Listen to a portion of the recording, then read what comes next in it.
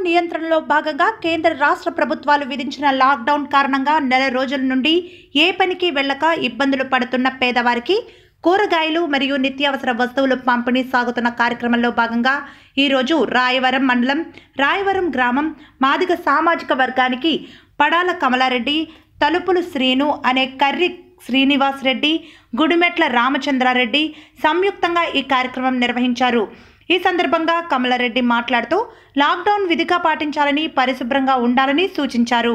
ఈ కార్యక్రమంలో మందపల్లి కొండలరావు చంద్రమళ్ళ రామకృష్ణ గంటి జాన్సన్ కాలా రాంబాబు కొండపల్లి సత్తిబాబు మంగ వీరబాబు మందనక్క నాని బాబీ తదితరులు పాల్గొన్నారు.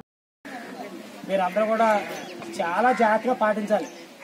ప్రతిరోజు ఇంటి దగ్గర శుభ్రం చేసుకుని కళ్ళాపులు చల్లుకుని ప్రతి గంట గంటకి కూడా చేతులు కడుక్కుంటూ ప్రతి గంట గంటకు కూడా వాటర్ తాగాలి. వాటర్ అయితే మనం తాగి మంచిది తాగాలి. ఈ వ్యాధికి ఎవరు కూడా ఈ రోజు కూడా ఎవరు కూడా మందు కనిపెట్టలేకపోయారు.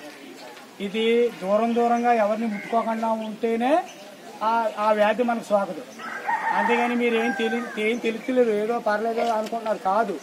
ఈవేళ ఒక లారీ డ్రైవరు నలభై మందికి అడ్డించాట ఒక డ్రైవర్. కలకత్తా వెళ్ళి వచ్చి మామూలుగా అందరితో కలిసి తిరిగితే నలభై మందికి వచ్చింది అంచేత మీరు అందరూ కూడా ఎంత చెప్తున్నాం అంటే ఇప్పుడు మేము ఈ చిన్న కార్యక్రమం ఎంత చేస్తున్నాం అంటే ఇలాంటి ఆపద సమయంలో ఏదో కూతైనా చేయాలనే ఉద్దేశంతో మేము ఈ కూరగాయల పంపిణీ పెట్టాం. నేను కుంకుతిరెడ్డి శ్రీనివాసరెడ్డి గారు మా ఇద్దరు కలిపి కార్యక్రమం చేస్తున్నాం అమ్మా.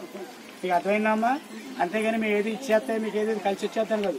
ఇటువంటి టైంలో ఏదో చిన్నదే మేము చేద్దామనే ఉద్దేశంతో మేము మీ మాదిపేటలో మీ అందరికీ చేద్దామనే చేస్తున్నారు కమలరావు రామకృష్ణ మన పద్మ వాళ్ళకి చెప్పి మీరు కొంచెం మీ పేట వాళ్ళు కొంచెం చిన్నవాళ్ళు అందరినీ రాయమని చెప్పాం. మొత్తం పేట అంటే ఇక ఉన్న వాళ్ళు ఉంటారు ఇందులో నక్కలేని వాళ్ళు ఉంటారు. అని చేత ప్రతి వాళ్ళు కూడా ఈ రోజుల్లో మీరు మేము చెప్పేది కూతైనా అంటే మనకి ఎటువంటి ఆరోగ్యం అనారోగ్యాలు రావు. ఎందుకు రావంటే ఈ ఎక్కువ గ్యాపే పాటించాలి. ఇంట్లో కూడా గ్యాప్ గ్యాప్గానే ఉండాలి. మీరు టీవీ చూస్తున్నారా? వింటున్నారా? అది దాని చేత మీరు అందరూ కూడా మన రాయవరం గ్రామంలో ఈ కరోనా వ్యాధి అనేది సోకకుండా ఉండాలంటే మనం